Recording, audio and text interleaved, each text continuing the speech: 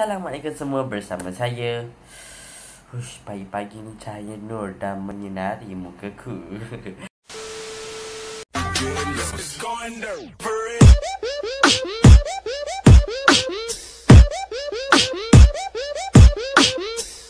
Jadi hari ni mungkin akan cerita pasal orang yang kena rasuk sebab tak baca bismillah.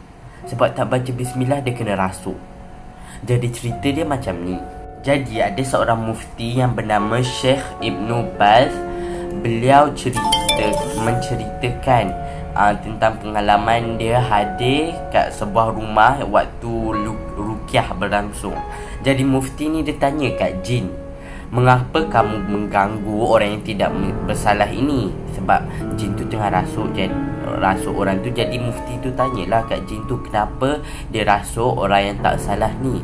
Jin tu menjawab dia tuang air panas ke atas anak-anak kecilku dan telah membunuh mereka.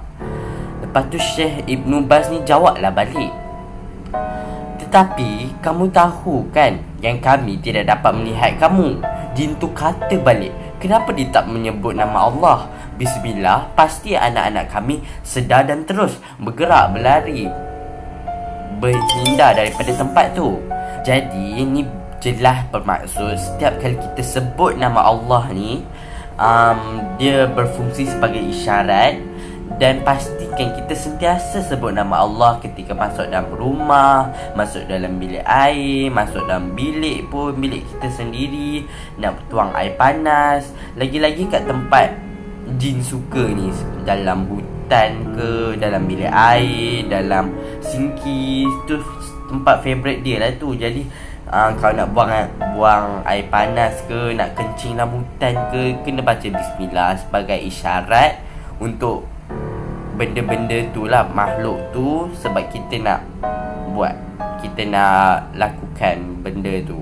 Nak buang air panas ke Nak kencing ke? Jadi kita kena baca bismillah Untuk hindari lah daripada perkara-perkara macam ni.